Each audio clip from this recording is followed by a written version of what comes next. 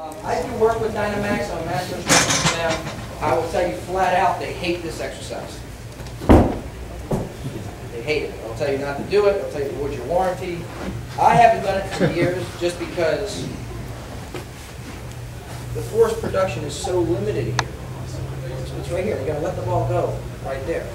Why would I do it there when I can do this? Much better stretch, much better summation of, of force. And you go, oh, well, I don't have a wall I can throw against. I can stay right here. Okay, there's my partner. Instead of going here, I go bang, and he just does it back or rolls it back. But that way or that way, I'm much more into because the wind up and the pitch is much more dynamic. And gravity's giving you most of it. Gravity's giving you most of it. So I'm just not into that slam.